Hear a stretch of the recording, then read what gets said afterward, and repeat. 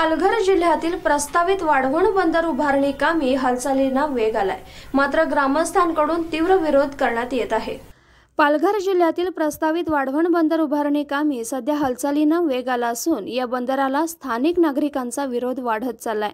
आज सकाळपासून पुन्हा एकदा या भागातील नागरिकांनी समुद्रावर मानवी साखळी तयार करून आंदोलन सुरू केले.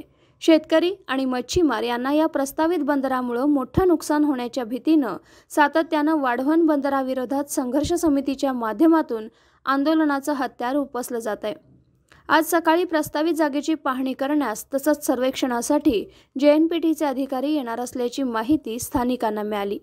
ही माहिती मिळताच पहाटेपासून नागरिक मोठ्या प्रमाणात घरातून बाहेर पडून समुद्रावर मानवी साखळी तयार करून आंदोलनाला सुरुवात सुरू केली. या पुकारलेल्या आंदोलनामध्ये बहुसंख्य महिला तरुण शेतकरी मच्छीमार यांचा समावेश असून कोणत्याही परिस्थितीत आम्ही कोणालाही समुद्रात शिरू देणार नाही असा एल्गार पुकारण्यात आला. केंद्राच्या प्रस्तावित वाढवण मंदिरासाठी वेगवेगळ्या पद्धतीचे सर्वे या वाढवण येथे चालू झालेले आहेत. पण हे सर्वे चालू असताना ते किती अन्यायकारक आहेत हे तुम्हाला इथे दिसेल की आपण या ज्या ठिकाणी हे सर्वे कशासाठी होत आहेत तर इथली जैवविविधता काय आहे हे दाखवण्यासाठी?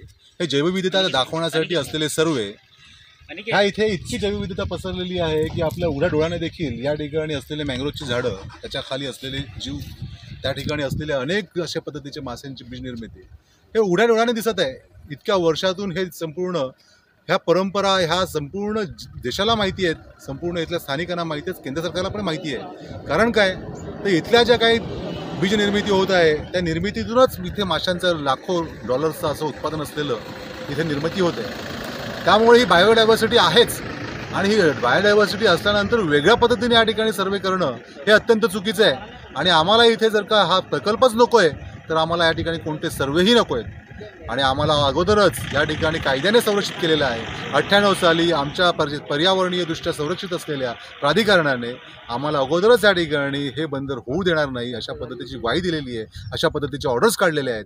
त्या ऑर्डर्स कायम असताना देखील आपण हा जर का प्रकल्प इथे आणत असतील तर तो आमच्यासाठी अत्यंत अन्यायकारक आहे. हा प्रकल्प होऊ नये हे आम्ही राज्य सरकार आणि केंद्र सरकारला ठणकावून सांगत आहोत आणि तो कदापि होऊ देणार नाही हे देखील त्यांनी त्याची जाणीव कृती समितीमध्ये चांगला विचार लोकांनी पकडलेला आहे. पण तो सतत राहिला पाहिजे. घराघरात तो रुजला पाहिजे.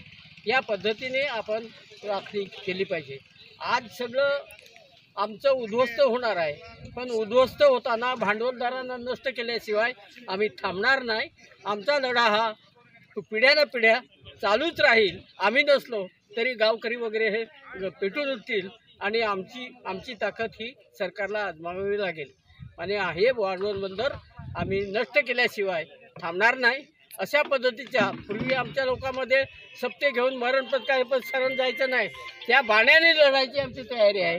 आणि ती लढाई आम्ही असं जर झालं तर आम्ही लढणार आणि जिंकणार. आम्ही हरणार नाही. विनायक पवार एसबीएन मराठी पालघर.